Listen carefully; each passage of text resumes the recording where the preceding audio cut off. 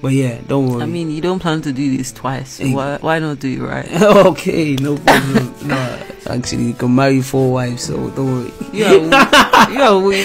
so maybe I can maybe second, third, and fourth one. Ah, look at this, look at this. After all the struggle, after all the struggle, look at this. Look at this coconut head. well, anyways, anyways, oh, this part is quite funny because I didn't realize I put in the wrong finger actually. It was meant to be a left finger, the ring was meant to go into, but we ended up on the right. But I think she got too excited, she didn't even mind.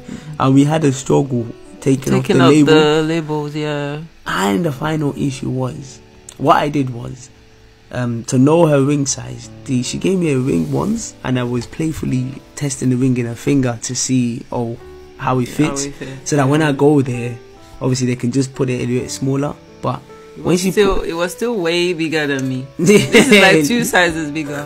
When we went to do the adjustment, they But told me it's two sizes bigger. But you know what? When I went to get the ring, they actually told me that. I was quite smart because the reason is to know the ring size in the sense that even though it was bigger, but obviously the way I did